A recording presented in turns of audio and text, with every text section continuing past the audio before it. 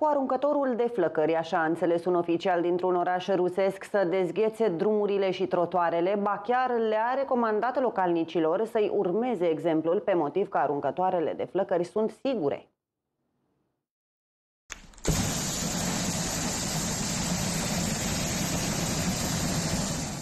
Un consilier local din orașul Novosibirsk a ales să dezghețe un trotuar cu ajutorul unui aruncător de flăcări. Oficialul a ales să facă acest lucru întrucât își propusese să le arate locuitorilor orașului că se află într-o continuă căutare de soluții de combatere a gheții care se depune frecvent pe asfalt. De altfel, consilierul local i-a încurajat pe locuitori să-i urmeze exemplul și i-a asigurat că aruncătoarele de flăcări sunt sigure și potrivite uzului domestic. Tot în Novosibirsk, autoritățile le-au dat locuitorilor topoare pentru spargerea gheții și colțari pe care să-i folosească atunci când merg pe străzi.